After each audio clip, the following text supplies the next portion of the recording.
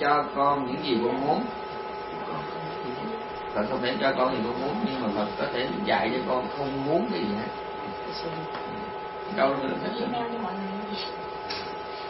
lòng rồi lòng tức là thuộc lòng không thuộc lòng mà cái đó là cái, cái, cái đó tức là cái đối tôi đó là đọc cái đó đừng là cái nam mô nam miết mà đó. Dạ.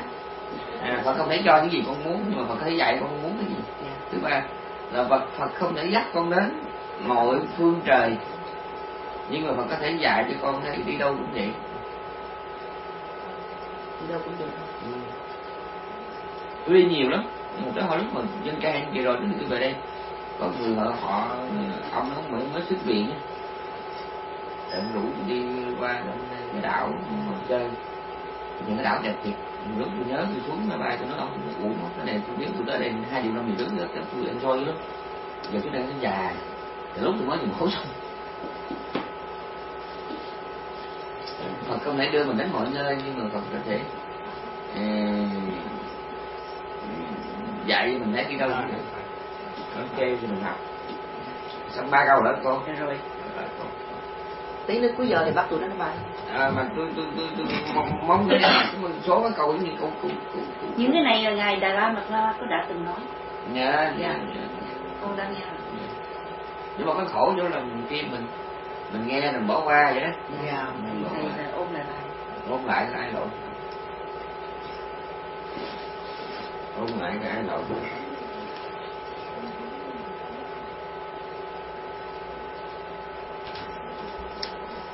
In đây là cô cô cô nhìn lên bảng còn nhớ gì mình qua nhìn biết nhìn nhưng nhìn nào giải thích rồi tưởng cầu bến hải gì đến công dễ hả?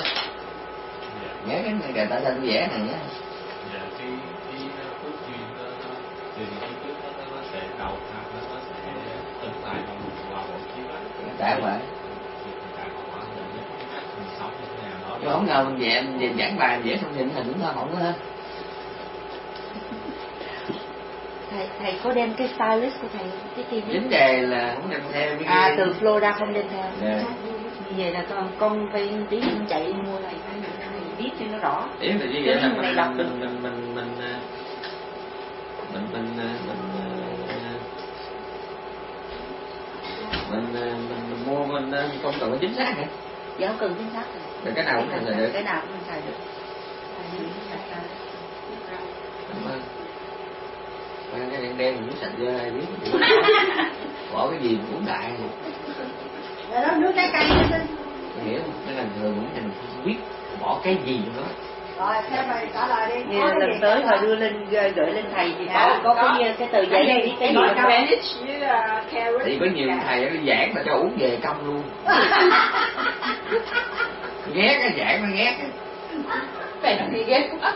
không thể mình không biết bỏ cái gì đây không sao thầy FDA nó công nhận là sạch sẽ à, bổ dưỡng và chi tiết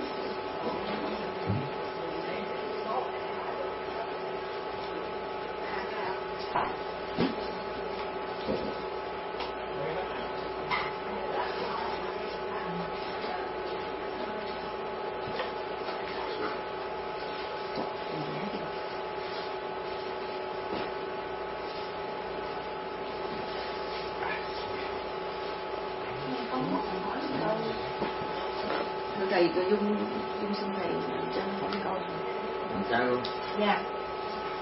Con muốn clarify á là cái tứ niệm xứ, thử dĩ tứ niệm xứ mà đem tới ờ, ờ, giải hóa đó.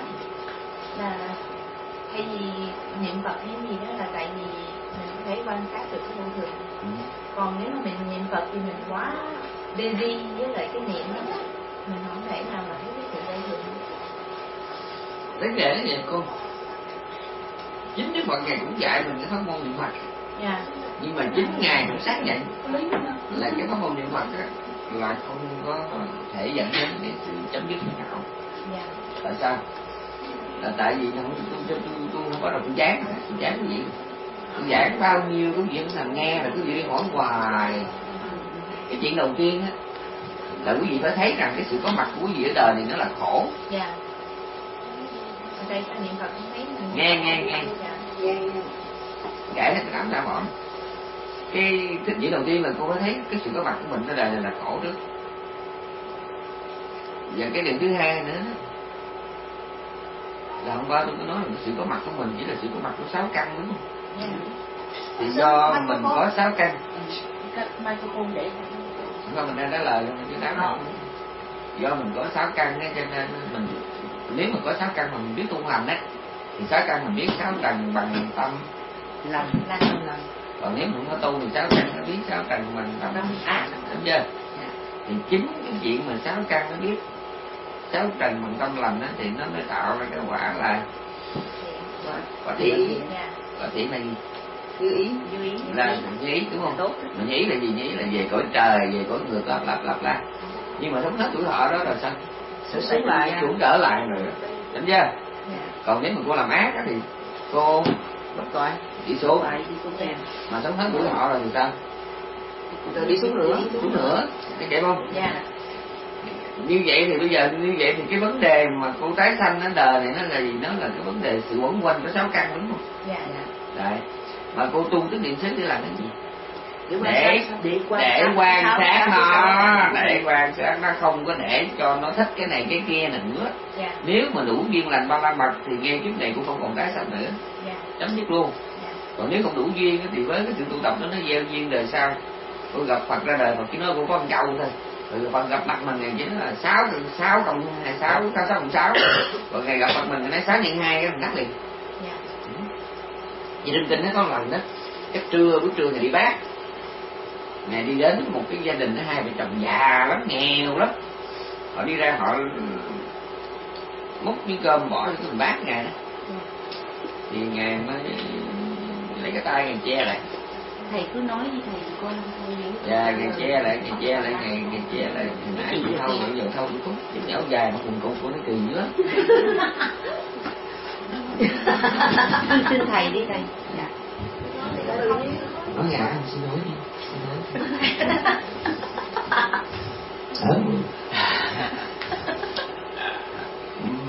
khi mà hai bà đã để bát vô cơm này lấy cái tay ngài che lại. Ngài che nghĩa là không có nhận đúng không? Thì hai bà nó ngạc nhiên lắm. Hai bà nó nói là hai bà nói bằng cái tiếng mà cái thái cái ngôn ngữ của cái xứ hai bà nói là ông là phí khúc phí khúc là người sinh. Mà bây giờ mình dịch là tỳ kheo. À, bây giờ mình nghe chữ tỳ kheo tưởng sang thật ra phí khúc là là bét rồi. Dạ. Là ăn mài ăn xin chứ có gì sai hết. Thì hai bà đem cơm ra đổ vô bát ngài lại ngài lấy cái tay ngài chặn rồi không có nhận thì hai bà mới nói là đã đi ăn xin mà tao cho không nhận vậy là làm sao? Thì Đức Phật nói là ăn xin đó, nó có nhiều nghĩa nó có cái hạn ăn xin đó là đi xin cơm. Nhưng mà có hạn ăn xin đó là hiểu được cái thanh tâm này là gì. Thì cái tôi gặp cũng có hiểu dạ.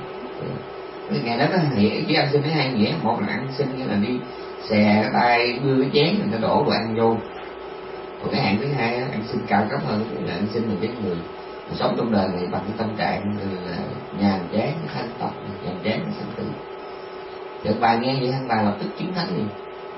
Lập tức chiến thắng liền.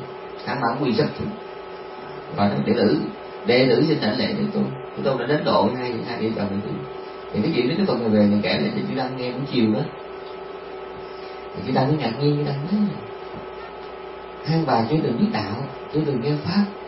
Mà ta sẽ nghe một cái câu mơ hồ ngắn gọn và tối nghĩa như vậy mà hai bà đắc thì Đức Phật ngày dạy là thời xưa đời chư Phật quá khứ. đó, tức là trước ngày có nhiều Đức Phật khác. Thì hai bà đi chùa dốt còn hơn Na Hát nữa. Không biết cái gì cái mặt nó bư từ xa là nhìn thấy nó tối rồi.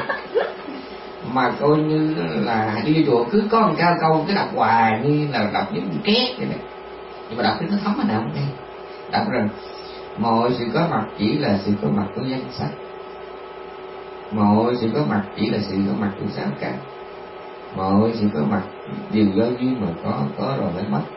Thời đó có một cái bài kinh có nội dung như vậy hai bài cứ đọc hoài mà biết cái gì. Chỉ biết cái cái kênh này nếu mình hiểu được là mình sẽ hết phiền não chỉ biết đại khái vậy. Chứ biết nó là gì thì cái duyên làm nó trải qua nhiều kiếp nhiều đời nhiều năm nhiều tháng tới là đến đời là Phật thích ca. Thì mình nhắc là cái câu này. Ngày giờ có mặt thì biết hai người người, người này hợp với cái gì. Cho nên khi mình này nhắc là hai bà đem cơm lên cho ngày đổ với bác này lấy tay này chặn thì không nhận tại sao mình không nhận? Là vì ngài muốn tìm cái tạo cái cơ hội cho họ thắc mắc. Đó. Và trong kinh nói là khi mà hai bà thắc mắc thì mình mới giải thích. Còn bà hỏi chứ cái ăn xin mà ta cho bạn không lấy vậy, vậy là làm sao?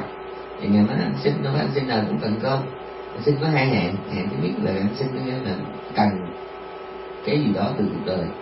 Còn hẹn xin thứ hai là chán nản mọi thứ từ cuộc đời thì mới nghe ông bà nghe bà đặt thánh gì và trong kinh nói thì anh chị cũng đau lòng đó này những ngày như vậy thế tôn định nói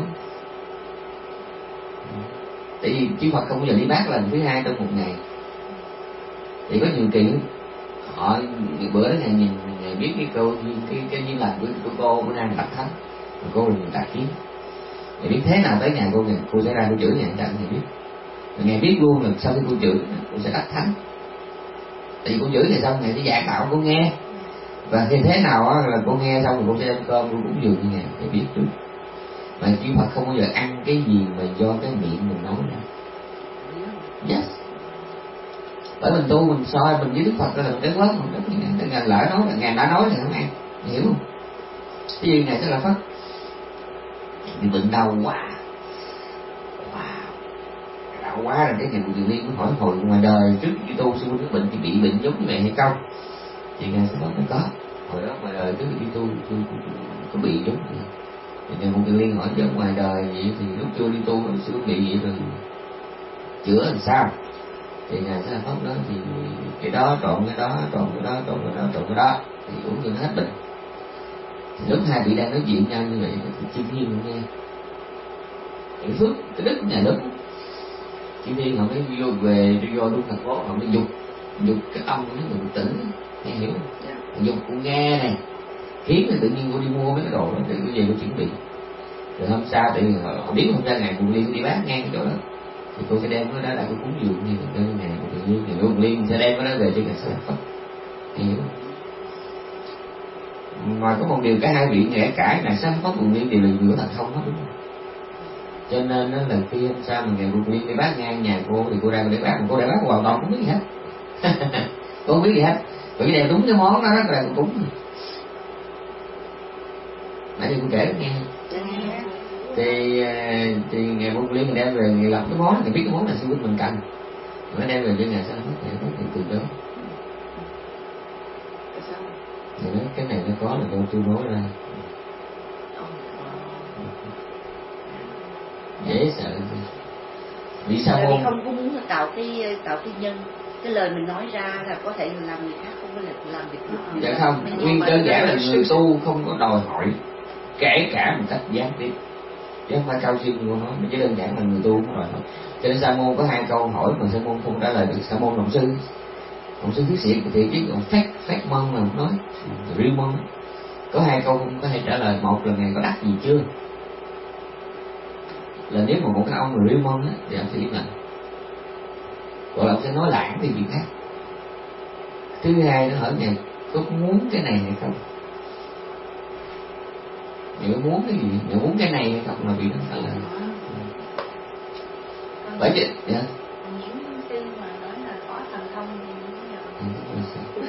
Nói toán đã nói rồi đã nói riêu mân và phát mân. Khổ quá biết cho thầy hành trường có có có có nói là có thần thông tôi đang nghĩ cô cô đừng có ép vô cái tình huống mà cô nói lời mà ta chém tôi chết. Hiểu không đó là những cái câu nó rất là phức tạp nó rất là tế là nhị. hiểu rồi cô nói vậy là hiểu rồi. Khổ quá đi. Em muốn chị nhưng mà vấn đề tôi cũng phải tôi cũng phải tôi cũng phải cho tôi bên, bên cho tôi bên thầy chút. Là có khi thầy nói đùa thầy nói cách nào đó bà con hiểu lầm chứ có ai mà trên đời này mình dạy dỗ mình đi nhận mình có thần thông. Tôi biết cái đó rất là nguy hiểm tôi biết không để tôi nói cô nghe vậy là tại tôi nói cô thông băng tôi cũng hơi sợ. Để thâu này nó có cái nó hay là về nghe lại nhưng nó kẹt là cái gì nó hơi kỳ kỳ tôi nói không ngại. Là tôi chỉ nói dấu tên một vị hòa thượng. Đành phải dấu tên một hòa thượng nổi tiếng là thiền sư khi mà qua tới bên ấn độ mà hành thiền đấy gì cái lộn hành thiền cái gì? Hành hương. Hành hương.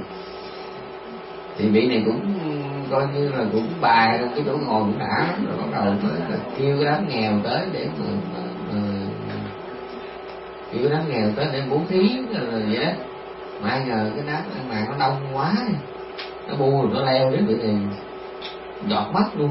Bỏ đi trong sự quảng hốt tại lần đầu tiên ở cái cảnh mà một rừng người mà nó tràn vô lúc đó tụi nó bỏ gần như là chạy đi mà trong một cái cách không còn là thiền nữa. Một lần một lần khác thì người qua bên ờ, ấn độ cũng trong chuyến đi đó. Vị này nổi hứng nên kêu đệ tử là thầy không cần first class sao nữa cho thầy đi bình dân đi. Tại vì vị đó hoàn toàn không không biết cái bình dân ấn độ nó mặt mũi nó làm sao. Cứ tưởng nó first class là sang có giường nằm. Còn bình dân á, economic thì ờ, ngồi. Tưởng diện tính là mình làm thiền sư cho nó, nó phải hòa nhập vào quần chúng nhân dân ai ngờ khi mà bị nó lọt vô cái toa mà bình dân mình nó hết hồn là sao? Đông. Cái chuyện mà cái ông áo đen mà ngồi trên vai của tôi là vẫn là bình thường tại vì nó nhét như là cái hũ mắm. Là nó leo nó nhét mà trao trước mất đồ rắn chịu. Mà nó chen là coi như không có kể lớn nhỏ phụ nữ nam giới không có tức là nó cứ leo nó trèo nó ngồi nó dẫm lên nhau. Hôi há mùi cà ri không là thấy phê rồi mình chưa kể mồ hôi mồ kê, rồi nam, nữ gì nó trộn xà băng nó bị này nó lúc nó tá quả nên là không phải hoàn pháp là dễ. Tự nhiên khi mình ở chùa là mình nói những câu rất là cao siêu, rồi cái gì, ở đây tôi cũng giấu tên một đại ca tôi ở Đà Lạt này, cái chuyện cao siêu lắm. Tu là không có nói chuyện vui buồn. Ừ, ông sư mình nói tới chuyện vui buồn, bởi vì ngũ quẩn là dây không tứ đại là dây không? nha thì khi nào mình nói một cách chuyên nghiệp thì phải nói như vậy. Nhưng trong đời sống thường mình nói thật thà chút nghe kịp mình đừng có nổ quá rồi bữa nào nó xì ra nó kỳ lắm. Ví dụ như tôi cái cô đem đồ ăn lên hỏi thầy ăn được không? Không sao cô mình tu thì cái gì cũng được mà. Mình hãy dở thì không ăn. Cái gì thì mình tu có ăn có đi mua nhưng mà hỏi. Rồi hỏi với thầy ăn nó được không? Được không sao miễn là ngon được rồi đó, nó, nó, nó, Nó mâu một, một hai lần thì mình. còn thỉnh nhau được nhưng mà lâu ngày cái nó xì ra. Tôi nói thiệt như ngày hôm qua đó tại tôi đói. Chứ còn nấu chay ngày qua là nhớ ẹ. Tụi con biết, tụi con biết, tụi con biết. là tại sao là bởi vì là tôi là tại sao tôi tôi tôi thầy chùa mà phải nói thiệt là cái đồ chay đó là khó nấu lắm. Mà thông thường có nhiều là nhiều bà má và nhiều bà chị của tôi muốn ngon xài bột ngọt over coi như là cái trúc vô, coi như là cái trúc vô. Mà bên Việt Nam nó còn đỡ, nó có cái đồ organic còn bên xứ này ba cái nấm rơm, nấm rác gì nó làm nhiều còn cái cứ là đồ lon làm tới thôi. Mà cái đồ lon cái vị biết cái chất bảo quản nó là một tỷ rồi đó. Cho nên bên đây mà mà đã vậy ăn chay mà còn nhớ đồ mặn mới ghê chứ. Làm con gì như thế là làm gì thịt heo quay, rồi. Tôi thấy trong thực đơn á, thực đơn của nhà hàng nó biết tin. Để là lẩu mắm rồi mình theo quay rồi cá kho tổ rồi gà rút xương, rồi nó mà tàu nó con tối hòn thì ăn chung với con tử chung của nó nhỏ hết. Chỉ có bụng ngọt tại vì nó chỉ có mì căng tàu hủ với bột thôi mà nó xây ra ra bảy món, làm sao mà né được được bụng ngọt thì thôi, bây giờ giải cái gì nghe nó hơi lạc đề rồi tôi biết trở lại đó rồi. Có lẽ do mình hiểu lầm chứ còn không ai mà nhận của cái thành thông mình nhận nó nó mệt lắm, mà nhận bữa nó xì ra, không có thành thông gì lắm ví dụ như mình mình nói mình mình bụng uống hay không mà mình mình gia tài đệ tử nó nằm ể cái ly mình đắt tiền mà mình cũng đau bụng. Tôi nhớ trong ờ, ngữ lục của tàu kể câu chuyện thế này.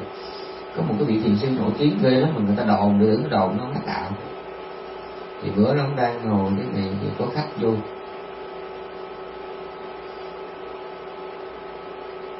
Trước mặt ông thiền sư là tôi nè trước mặt có tấm thảm quý lắm thảm đắt tiền của người cúng cái thiền sư này. thì có ông khách cũng vô.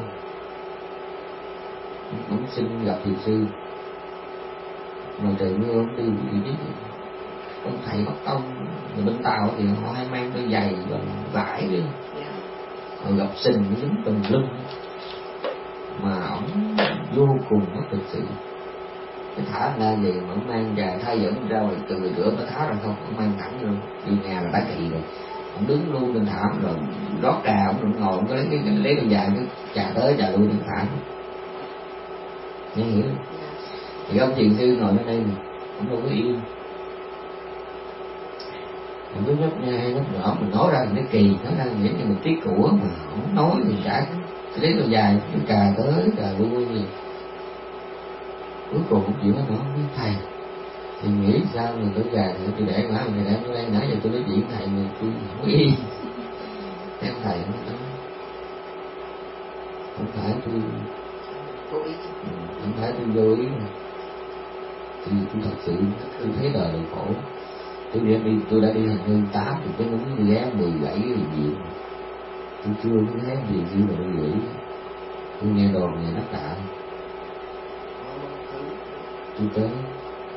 Tôi mong là tôi về đúng cái này mà tôi mơ thầy kêu tôi nhảy núi ờ, tôi cũng nhảy đời tôi đúng là minh sư thì cuối cùng tôi gặp thầy.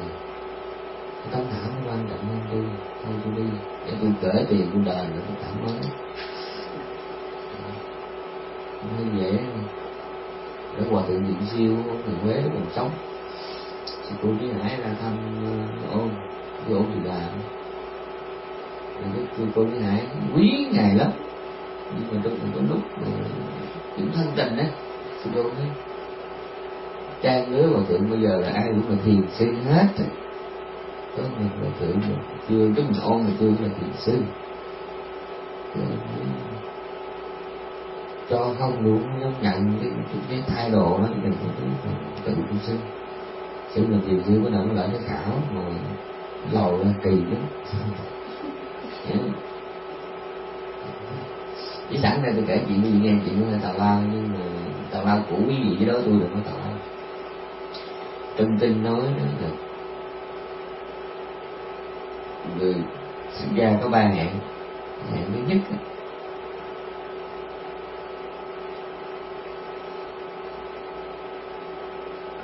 là đam mê danh lợi ừ. thích được cúng dường thích được khen.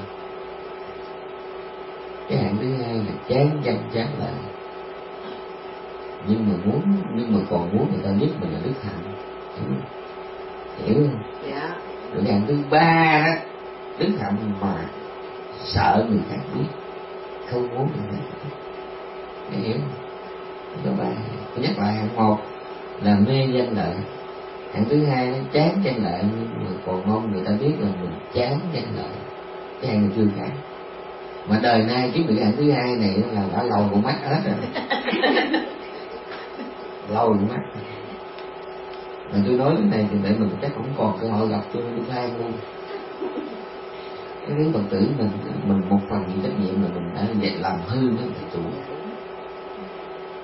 Tức nghĩa là cái kiểu mình mình thích màu á Dạ. thích mà đương nhiên mình cũng để cho đi con mình, mình, mình thích cái đó quá. Thì nó không làm mình mình đừng trách. Theo tôi ông sư phải có nội hàm biết nội hàm không? Cái ingredient quá trình dài. Cái đó nó quan trọng. Thì còn chắc là tôi bước vô nhà tôi nhìn mấy cái mặt phật tử rồi tôi họ, họ, ờ, họ nhìn tôi họ thấy nản à. rồi xíu mà tôi thấy anh đi vô nó thì. Tôi cứ tôi ghét xin sách tôi cho. Thấy hết lỡ người hỏi tôi tại sao tôi, tôi nhìn tôi biết hết rồi. Cái cô hồi sáng cái cô hồi sáng tôi nói tôi nói trước rồi tôi quên. Cái cô hồi sáng tôi chở tôi đi đúng tại sao mà thầy làm như nhiều nhiều người ác cảm này? Quá tôi nói tôi không có thời giờ để gieo thiện cảm. Thế là người ta ghét tôi. Chứ không phải là tôi gieo tôi gieo ác cảm mà vì tôi không có thời giờ gieo thiện cảm. Tôi lên trên uh, xuống Tampa hoặc tôi qua châu Âu hoặc bên uh, chùa Liên Ba mà tôi xuống thì Houston. Là tôi nói hết luôn như cô vậy người ta đến hỏi đạo giống như ông này ta hỏi ông hỏi cho ông ông hỏi cho cô kia. Ông rất là ngạc nhiên. Mà sao để nghe lại đoạn người băng này chắc ông hết hồn. Mà đúng rồi cô kia. yes tức là ông mến cái bảo vàng đó mà ông là tin lành. Mà ông tìm đủ cách bà đi chùa là ông theo chùa đi miễu là theo miễu. Đó là tôi về bà kia bảo vàng đi học ông cũng lết theo trước mặt bảo vàng ông lăn xăng hỏi đạo rồi hỏi nghe cách hỏi là biết chót rồi. Bây giờ nó là con chúa nhưng mà bây giờ con cũng có cái lòng nhớ thật mà mới giờ cũng cũng ngồi thiền mà phải tu thiền thấy trong cái tâm thanh thản nó không có còn phiền não vậy là sao? Ủa, xuống mà nghe cách nói của người hoàn toàn không có biết cái gì hết á. Nổ cho bảo vàng cái khoái. Cái bài kia là đạo phật bảo vàng hiểu ví dụ vậy đó rồi mà nghe mình cái cái cách hỏi chứ phải dân trong nghề cái nghe hiểu không hiểu đâu dạ. Cái cô này cô dạy thuốc nam trong cứu cô á. Dạ. Rồi tôi tới tôi hỏi cô tôi nói bây giờ tôi cô tôi cũng bị bệnh vậy đó rồi tôi phải uống rồi nói rồi cái đó cô có thuốc nam tôi cũng có hỏi với bài thuốc cô nghe cái hỏi tôi cô đoán tôi bị bệnh thiệt tôi biết. Không cái gì cô biết chứ. Dạ. À, chứ không phải cô nói ai hỏi cũng giống nhau đâu có nghe hỏi biết liền. Mà ngộ lắm nhìn biết. Cái, cái đi dạy biết nó quen nhìn lỗ mũi biết nó nghĩ cái gì đó wow. Không nó quen nó thành thông. À, hồi nãy thầy nói cái chữ này mấy thầy có cái nội hàm. Nội là trong mà hàm là chứa Dạ. Cho nên là cái, những cái nội hàm tức là cái quality bên trong của một vị gọi là nội hàm. Bây giờ theo trong đạo Phật á Đức Phật ngày dạy có bốn ngày, ngày đó là có những cái trái xoài nó ngon ngoài vỏ nhưng cái ruột nó chua. Biết đó không dạ. Rồi có những cái xoài cái vỏ ngoài nhìn nó ra nữa có những cái ruột nó ok. Nhìn nó có nhiều cái rổ xoài nhìn cái trái cái vỏ nó nhăn có thấy không? Mà nó lại rất là ngọt. Còn nhiều trái nội bốn lưỡng mà có pha màu hồng nữa chứ. Mẻ á. Ồ, hồi đó mình tôi mới vào tôi mê không có biết bao nhiêu. Tôi cạp vô một cái nó chua mà sơ xong mà ừ đó về sau tôi gặp ba cái sờ mẻ quỳ tôi lạy nó luôn. Coi như là nó tốt gỗ mà mà nó, nó, nó, nó tốt nước sơn mà nó tốt gỗ tức là nhìn thì đã này biết sợi mẻ không? Dạ. Cái trái nó mập mà nó tròn mà bốn lưỡng mà nó có màu đẹp lắm nhìn là thấy thèm ngay. Mình trong xứ mình hay lúa mới ra. Phải quá phải quá. Rồi hồi mà còn cái trái kế bên đó nó còn cái mâm đó, nó đừng có cái, cái xoài mà xoài thái đó. mà nó chín quá rồi nó, nó, da nó nhăn phải nhìn nó xấu mà tôi đâu có thèm bóc trái rồi mẻ nó gọt ông ờ, cả tôi cạo một cái nó chua mà nó sơ không, nó giống như tôi nói, tôi bật tôi nói lấy cái này đi chùi nồi được. Thầy, con có một câu hỏi cái này bài giảng ngày hôm qua, thì thầy nói là cái duyên giải thoát của mình á, thì mình cần biết năm thứ hay sáu thứ mà con cứ nhớ được cái ba này là mình biết khi nào mà mình chết, và mình biết mình chết cách như thế nào nó mình nghe nghe là- người là biết là biết là mỗi dạ dạ. Rồi nhưng mà có, còn có ba điều có ba điều có ba điều. Nếu ta biết được ta sẽ lập tức thay đổi lối sống. Dạ. Thứ nhất là ta biết về cái chết. Mới mở hoặc đơn chết ở đâu lúc nào và kiểu gì đóng lại cái là, là mới số một thôi. Bởi giờ tối nằm bao về thấy cái điều thấy do gạo mà cứ do xong nhìn lại đóng toàn là cát không à. thì tôi nằm đây tôi tự giải mộng đúng rồi tôi giải đây tưởng gạo còn nguyên đám cát không có thể làm tất lại từng cát từng gạo đi. Đúng rồi đó. Rồi cái số hai là biết được những người xung quanh mình đó những người mà thường chào hỏi không biết mình nó họ nghĩ gì về mình. Dạ biết cái được thứ đó là ba- cắn lưỡi. Còn cái thứ ba là gì thầy? Cái số ba là biết mình chết rồi sẽ đi về đâu. Đầu hôm mới 9 giờ là mình làm giám đốc bệnh viện hai giờ sáng mình xuống cống mình chuột nếu nếu mình biết vậy là mình nản lắm. Và tôi cứ kể lại câu chuyện một vị thánh mình ngồi trên núi. Tự tự nhiên ngồi, cười cười, ngồi. Cứ ông hai thầy trò cũng ngồi nhìn núi cười. Đệ tử nó hỏi sư phụ có chuyện gì vậy? Cái sư phụ nói, con biết thầy mới thấy cái chuyện lạ lạ với núi. Một cái người ôm kẻ thù trong tay. Ăn thịt cha mà lấy chân đạp mẹ đó. Thì học trò nói, con thì nói rõ hơn đi thì ông cũng nói cách đây cũng nhiều năm ở dưới núi có hai gia đình nó gây gỗ hiềm khích nhau tranh giành nhiều miếng đất á, cái răng cái đất hàng rào. Bên mỹ có landmark còn bên mấy cái xứ chợ thì nó có lúc không. Thì nó, nó, nó gây hai cái người nó gây gỗ nhau đến lúc một nào đó thì một trong hai người lăn ra chết. Bị stroke bị hết nó tắc vậy lăn ra chết. Thì họ chết xong rồi mới đầu thai vô làm con của thằng cha hàng xóm. Thì vậy rồi ba má của cái ông bên đây nè. Mượn đỡ mà tức là cái ông ông, ông bách này ông gây với con nghe xong rồi cái ông bách lăn đùng ra chết ông mới sanh vô bụng con nga làm con. Còn ba má con nga về già nó cũng lăn ra chết thì má con nga làm cái thương con thương cô mới sanh làm con chó trong nhà. Còn ba cô làm cái con cá trong cái đầm cái hồ phía sau nhà thì bữa đó cô hai vợ chồng tôi mới tát mưa nước bắt cá thấy cá bự quá đi mới đem lên ăn. Thì lúc đem cá lên dọn nấu ăn thì con chó nó nó thấy xương thì nó thấy ăn thì nó nhớ Việt Nam mình, mình ăn cái chó nó chồm chồm thì con nghe tay thì bọc đứa con mà đứa con thật ra là chó bắt cái ông hồi đó là hai người tính chém nha mấy lần mình chỉ học đó. Rồi bây giờ cô bồng cắt trên tay mà mà, mà con chó này nó thấy ăn thì nó cứ chờ nên cô lấy cái chân cô đạp ra ra mà con chó là mẹ cũ của mình. Còn cái con cái con cá mà lên cái mâm ăn đó là ông già của mình. Thì vị thánh ngồi trên núi thì nhìn thấy cảnh đó gì cười. Thì mới nói là tao thấy cái cảnh như vậy đó. Tao cười tao cười cho cái cụ luân hồi thấy ghê quá. Ghê. Cảm ơn lời có mà hay mà nước nóng thì uống sao nóng? Mấy cô mà nhìn cái cô nóng hơn. Từ từ học tôi có cái tự học này đậm mới đã. Có có câu hỏi chứ dạ. À, con không phải là câu hỏi nhưng mà con muốn cho thầy à, nghĩ rồi con con nghĩ và đúng hay không? Hôm qua mình nói về cái duyên thì cái cái câu con hỏi là cái duyên tại sao những người mà đi đến một cái con đường một cái đường đạo rồi họ đi theo một cái ông thầy nào đại như vậy.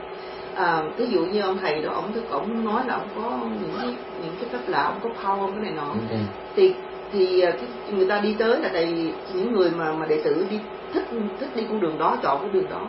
Có phải vì cái tâm của họ cũng là một có thầy, thầy, thầy nói nhân quả phải không? Thầy nói nhân quả những cái những những những cái à, cái, cái nhân quả của mình những cái lục căn của mình những cái cái cái nó nó trao dồi để để mình tạo cái duyên. Nhưng mà cái nếu mà mình cái duyên mình á mà nó đến với ông thầy đó thì tại vì mình có cái tâm tham ví dụ bây giờ con muốn con cũng ông thầy chữa điện chẳng hạn thì con theo ông thầy chữa điện là tại vì con có con có cái tâm tham ở đó con mới dính vào trong cái cái chữa điện. Nếu mà con cái tâm con mà nó thích về đi học về ví dụ về uh, trí tuệ chăng nữa thì mình cũng đâu đâu tự nhiên mình sẽ biết là Phật thích ca thế dạy thế này thế kia. Mình chỉ nhắm mắt mình chỉ đi một đường thôi mình không có đi lạc ra con đường đó. Thì tất cả đều là tại tâm mà tâm là tất cả của từ những cái nhân quả của mình.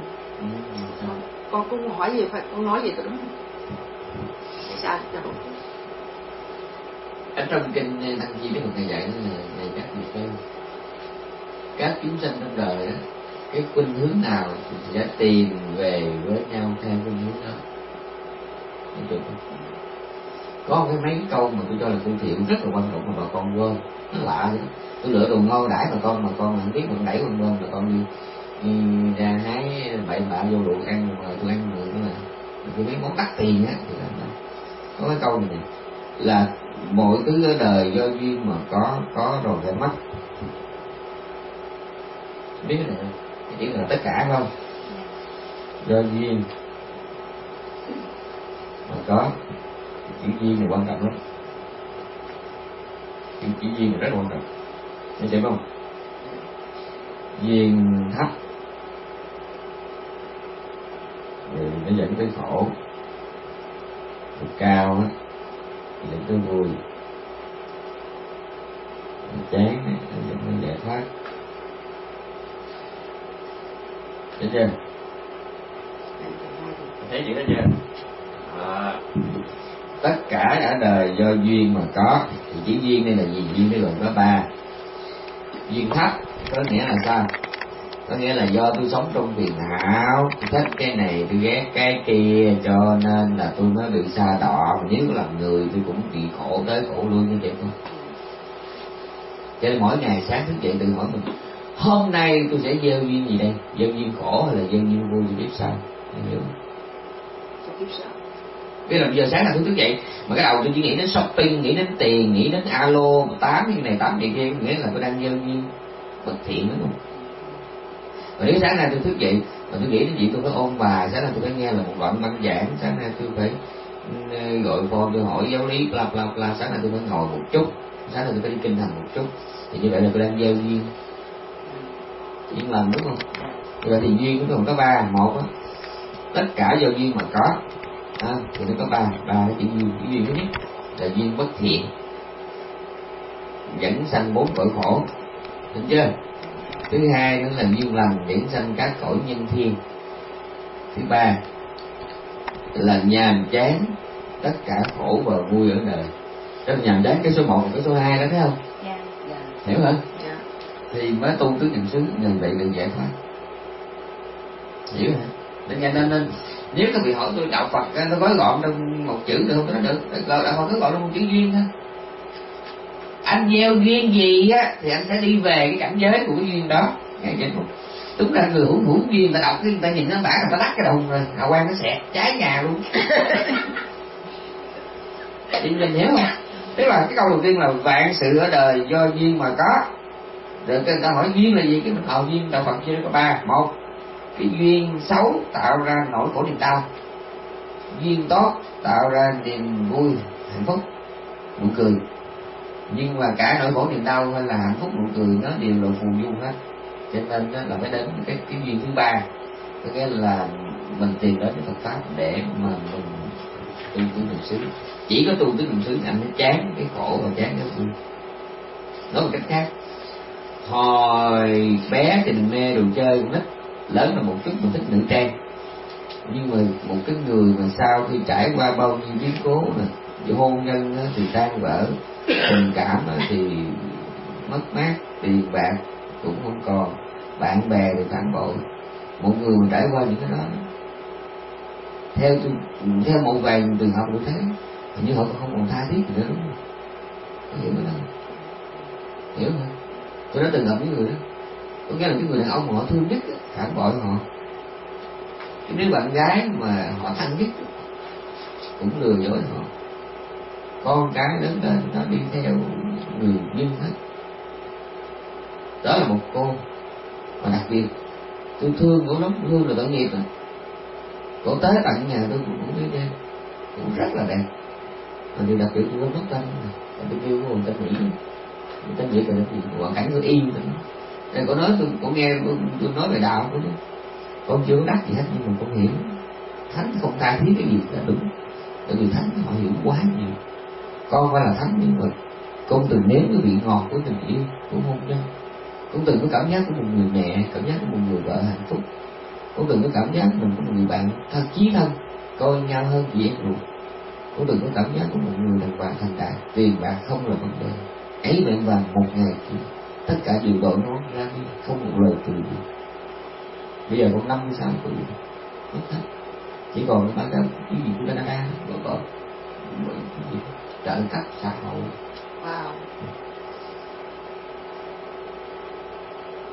Nhưng mà khi cổ mất hết rồi mới thấy là tại vì cổ thấy rồi hết. Cố nhận ra khi không còn gì hết. Thì tôi kể chuyện đó cho quý vị nghe thôi thì kể chuyện tào lao. Không phải kể chuyện về một người đàn bà bất hạnh mà tôi muốn nói rằng khi mà mình tu tứ niệm xứ mình sẽ sống mình sẽ nhìn cuộc đời này bằng cái tâm trạng của cô có nghĩa là tôi, tôi nói giống như một người một người yêu hoa rừng, đi vào rừng tìm hoa. Thấy một đóa hoa đẹp đến nhà tới này khi mà chụp cái đóa hoa đó mới biết đó là con rắn nhiều màu. Thì cảm giác như thế nào thì ở đây cũng nhiều khi một người mà tu đức niệm xứ, sẽ có một ngày họ phát hiện ra là cái thanh tông mà đó giờ họ thương thích, nó thật ra nó là đồ giả. Nó sẵn sàng phản bội mình, nó đúng là tôi nó hoài cái gì đến bơ cái đó là cái quan trọng nhất rồi. Phật. Thì Phật nói là tất mọi thứ do duyên mà có thì duyên cũng có ba. Thế thì như bây giờ cái cơ thể tôi, nó bệnh hoạn khó chịu quá đó rõ ràng là trước đây tôi đã có một lo lối sống không có lành mạnh hiểu không?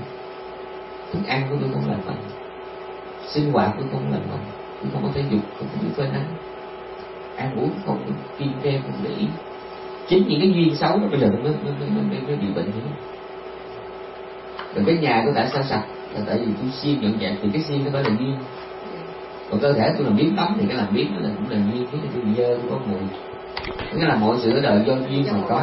Ừ, do duyên. thì thì của con thầy không có để con con nói với thầy. Bây giờ nó nó, nó trắng đen luôn như thế Ừ. chuyện mập mờ quá thầy không biết. Nhưng mà không tôi nghĩ tôi đoán ra mà. Thầy biết như vậy không là chẳng hạn như là một người à, ở đây phật tử nhiều về à, đi tu, à, tu tịnh độ ok rồi một có một, một số phật tử là đại thừa yeah. thì bây giờ mình là, là đi học ừ, với lại Phật Thích Ca thì mình À, là ừ. tiểu thừa ừ. thì bây giờ chỉ muốn làm sao thuyết phục cho những người đang đi đại thừa hoặc là đi tịnh độ mà trở về đi theo chánh pháp Không. là tại vì cứ ngại thì cái đó là thành ra khi mà chỉ nói chuyện với những người khác đó Ừ. mà mình mình mình làm sao mình muốn cho người ta hiểu là à, mình phải học Tức là để con clarify rốt câu nói của để- chị, để- không chị em đừng là làm. đâm ra đó cái sự Cái- cái vấn đề của con là như thế này. Thành ra vậy đó. Hiểu rồi. Cái cái vấn đề của con á là em của con á, nó nằm ở trong cộng đồng và nó làm việc rất là nó very exposed. Con thì mà mở ra thì lúc nào nó cũng có những cái câu giải thích về đạo hết. Con nói thua nó thì nó nó nó nói hay hơn con nhưng mà cái vậy. nó để cho con tình nhưng mà nó là giao thiệp nhiều. Nữa còn con thì không giao thiệp ai hết nhưng mà con cái vấn đề con muốn clarify với em con đó là nếu mình không mình con không bao giờ đấu chống đối ai đi tịnh độ bất cứ gì khác. Tại vì nhưng mà đối với mình đối với nó nó nó là em của con thì con không có muốn em con đi agree với những người khác.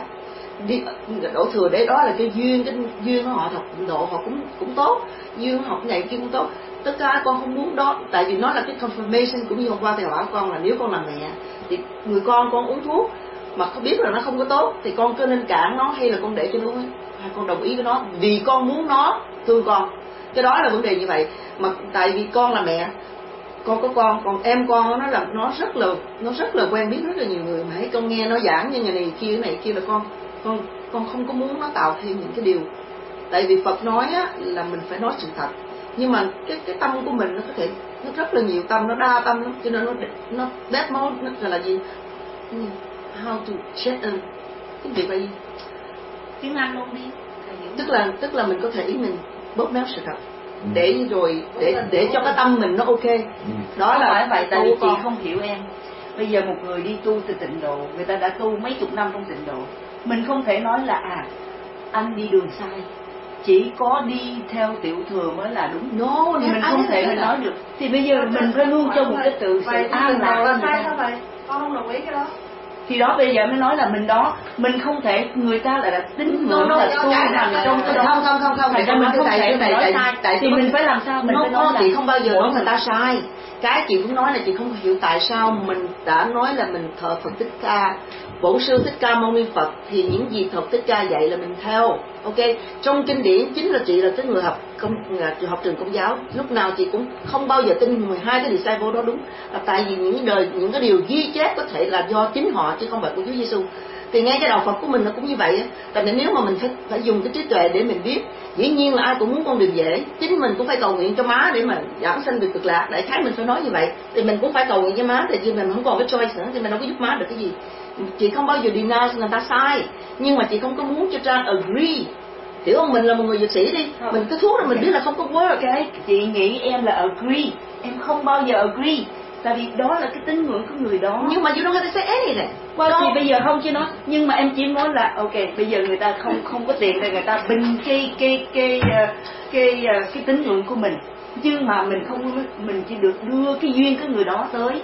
Duyên người ta tới mà hợp với cái, đâu?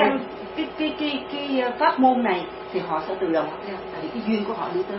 Chứ mình không có à Bởi vì, gạt bởi vì cái câu ta. cái câu tiếp của chị là chị sẽ hỏi tiếp thầy là trong cái những cái cycle này thì làm sao nếu tất cả đều là duyên thì người ta sống hoài trong cái duyên đó không bao giờ người ta break được cái cycle thì thầy phải dạy tụi con làm sao break cái cycle đi Dạ. từ thấp lên cao. Có đó là câu nói của đó. Cái thứ ba cái thứ Dạ, ba dạ. chỉ có cái thứ ba mới là hỏi nhưng mà làm sao mình mình break được cái duyên đó? Thầy nói là ở bây giờ cái duyên mình lỡ mình sống phải học sống 12 nhân duyên cái mới thấy cái đó không nhưng mà mình không có cơ hội tới để mình học người hay nhưng cái điều con muốn nói. Làm sao không có cơ hội? Mình đang học về đó mà con nói những người trong cả một cái cả một cái thế giới này thế giới này chịu thua đức phật được tôi làm thì được. đúng thành ra cái mỗi người người ta có cái duyên. cái duyên người ta sẽ đưa đẩy tới được một vị vị thầy giảng cho mình mà học được thầy. Chưa chắc gì tất cả những người nghe thầy mà Dạ, không hiểu nói cái thầy. này quan trọng là sẽ đúng không bắt đầu tôi cảm nhận ra là giữa mình đây có một cái rặng là có vị họ thắc mắc là có phải tịnh độ sai hay không đúng không? có đúng thắc mắc thấy dạ Dạ, dạ không đồng ý vậy. Dạ, cho có nên là cái- nào dạ ta tính đầu tiên chỉ nói nhiều mình bỏ nhau luôn. Cái này nè đây là một cái chuyện rất là tế nhị. Dạ. À, mình bàn mình sơ xích cái mình bỏ nhau không nhìn mặt nhau chỉ bỏ đi cái không nhìn mặt nhau mà chuyện chuyện nó rất, rất là đơn giản. Theo tôi là rất là đơn giản. Vấn đề là mình có đủ cái duyên để mình nói chuyện với nhau hay không Phật có một câu nói mà nghe thì rất là dễ hiểu, nhưng mà ngẫm lại thì gần trăm năm tôi chắc đã hiểu câu đó này các tỳ kheo, trong suốt một đời chúng ta ta chỉ nói đến hai chuyện thôi đó là khổ, ta vạch rõ mọi hiện hữu là khổ, và ta đưa ra con đường thoát khổ Nghe hiểu không? Dạ thì dầu pháp môn nào đi nữa thì cũng tôi dám bảo đảm đến cả thầy hàng trường hay là thượng tịnh không cũng phải đều có đọc qua câu đó. tại câu câu rất là nổi tiếng tức là cả đời này ta chỉ nói đến hai chuyện thôi đó là cái khổ và con đường thoát khổ. Cũng giống như bộ bác sĩ. Nó bao nhiêu năm tôi học ở trong trường y tôi chỉ học có hai chuyện thôi một bệnh tôi học về các thứ bệnh và tôi học cái cách chữa mấy cái bệnh đó. Chứ bác sĩ không có học cái thứ ba theo tôi hiểu bác sĩ không có học cái thứ ba bác sĩ chỉ học có hai chuyện thôi. Một là tất cả những gì thuộc về bệnh, gián tiếp và trực tiếp. Thứ hai là bác sĩ phải học về cái cách mình chữa cái bệnh mà theo chuyên ngành của mình á ví dụ như là nhi khoa là giải quyết vấn đề của nhi, mà phụ khoa là giải quyết vấn đề của nữ giới. Mà ví dụ như bác sĩ về máu là chỉ giải quyết về máu về da đó, mình dạng đó. Thì ở đây cũng gì tông phái nào cũng là tu hành tôi đây không phải tôi nói cho mọi người vui mà tôi phải cho tôi nói từ từ. Tông phái nào cũng là tu hành, nhưng mà nó kẹt cái chỗ này. Là do cái nhận thức của người hành trì có vấn đề sai biệt nhau. Nghe chưa? không dạ. tôi tôi thấy cái chuyện mà bỏ cả đời mà học thuộc lòng bao nhiêu quyển kinh á. Triết lý cao siêu, bát nhã, hoa nghiêm lâm già. Nó quá mất nhiều, quá mất thời gian đi mà tôi hiểu theo cái chỗ của tôi hiểu đó là một cái, mình chỉ cần có một thứ thôi đó là nhất tâm bất loạn. Thì tự nhiên cái huệ nó bừng khai ra mình thấy được nhiều chuyện mà mọi người tâm tư lăng xăng họ không có thấy được. Như vậy không Dạ, mà chính mình Phật giáo cũng nhìn nhận là giới định tuệ mà. Dạ, chỗ này phải thâu văn đây nè. Dạ, chính Phật giáo Nguyên Thủy Đức Phật ngài cũng nói là không có giới thì không có định mà không có định là không có tuệ. Và tôi là một vị thiền sư Trung Hoa. Tôi là một thiền sư Tây Tạng sau khi nghiên cứu kinh điển thì mới thấy thế này. Có nhiều con đường để hành trì giới định tuệ. Mà trong đó cái con đường mà tôi nè tôi thích nhất đó là tôi thấy hình như là muốn cho nhất tâm bất loạn là tôi thấy là chỉ có pháp môn niệm Phật thôi. Niệm Phật nó có hai cái lợi. Một nếu mà khi tôi niệm Phật thì cái tâm của tôi được tập tập trung đúng không? Dạ, thì khi mà cái khả năng tập trung của tôi mà nó nhiều rồi đó, tôi sẽ thấy ra nhiều thứ mà người khác họ không thấy được. Đó là cái lợi thứ nhất. Cái lợi thứ hai nó trong kinh có nhìn nhận thế này cái người thường niệm Phật cái mai này ra đời chỉ cần nghe tới cái chữ Phật của họ đã họ đã muốn đi theo rồi. Dễ nhiên á. Ừ. dễ nhiên với chuyên Phật ba đời. Và là cái thứ ba nó cái người mà thường xuyên niệm Phật đó thì họ dễ trang nghiêm cái thân tâm hơn người khác, bởi người khác khi họ tu với cái điều mục này, điều mục kia đó ví dụ niệm một hơi thở niệm một niệm về sự chết, niệm về bất tịnh, bla bla thì họ không có trang nghiêm cái thân tâm bằng người niệm Phật cái định. Cho nên cuối cùng rồi tôi bằng cái kinh nghiệm tu hành của một thiền sư 90 tuổi tôi đã đề xướng pháp môn. Niệm Phật. Nghe hiểu không? và niệm Phật của tôi buổi đầu nó chỉ là cái con đường nó là cái cách thức để trao dồi cái concentration. Nghe hiểu không? rồi từ cái concentration nó mới đi đến bước thứ ba là wisdom tức là định và tuệ. Thấy chưa nhưng mà khổ thay cái thằng cha bắt này để tử của tôi. Cha lại không được hiểu sâu như tôi. Trong những cái ngày mà cha hầu tôi trên núi ba chục năm, thì ông cứ nghe tôi nói con câu là niệm phật tốt lắm, con con ráng niệm. Bởi vì một là nó giúp cho con có cái concentration. Mà cái concentration này con sẽ có wisdom, nha. Thứ hai đó là con sẽ được nhiều phước báo. Mà thằng cha này, cái sức tương giả nó không có tới để cho những wisdom được đã dạ, chỉ mê cái niệm phật là có nhiều phước báo thế là tôi tôi lăn ra tôi chết là chẳng dạy tiếp cho cái bà nội này. Con cứ niệm phật, con niệm phật là vô lượng công đức, lắp lắp lắp lắp lắp. Mà ông thầy cũng vậy ông phái ông mới dạy được tử mà ông này ông lăn ra ông chết rồi, khi mà hai này ba nó mới đè cái bảo xong rồi, nó dạy y chang gì nữa, nó dạy riết rồi đến cái thế hệ sau đó nó nghe tới đến pháp môn niệm phật á nó thấy rất là mê tín.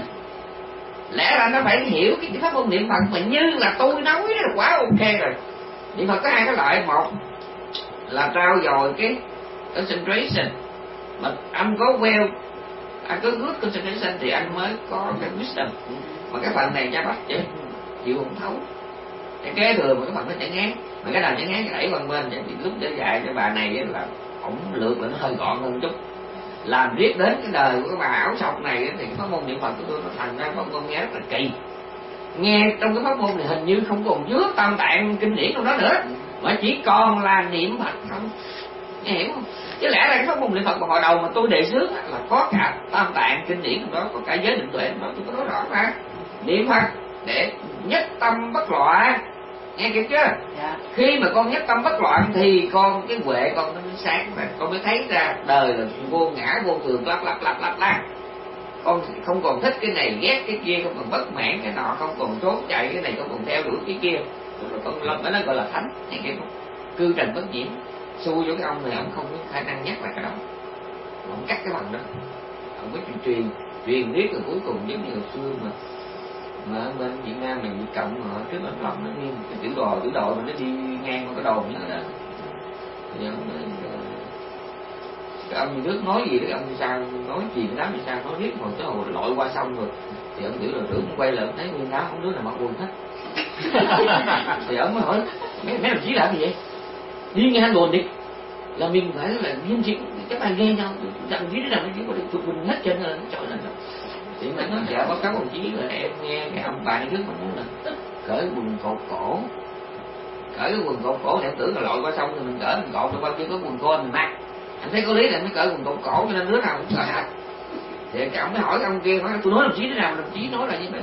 Thì em nghe là đồng chí nói là coi chừng rắn hổ rồi hỏi ông kia ông đầu tiên ông, ông cái ông đầu tiên hỏi đồng chí nói cái gì coi chừng cái lỗ.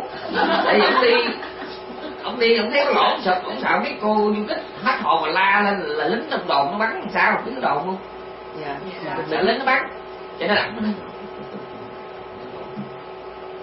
thì cái bà đi xa mới nói là con chừng nó khổ cái bà nó quýnh rồi thì tới cái bà cuối cùng ở vùng cổ cổ như là nguyên một cái tiểu đội. Chỉ có mấy cái tên đầu nó còn mặc quần thôi còn mấy cái tên sau là nó nó thảo rồi hả? Thì cái kinh phật y chang như vậy. Ý chang như vậy. Có nghĩa là từ cái chỗ mà coi chừng cái lỗ mà nó xuống tới cuối cùng mà nó giờ còn vẫn là hên lắm. Hiểu có nghĩa là cái pháp niệm phật tôi không có bác nhưng mà tôi tôi phải nói. Phải hiểu pháp môn niệm phật là cái gì? Đó là một chuyện chuyện thứ hai. Niệm phật gì? Niệm phật nào thì tôi bây giờ các chuyện mình đừng có bàn tới. Kiểm soát rồi có có vũ khí vũ khí đâu đánh đâu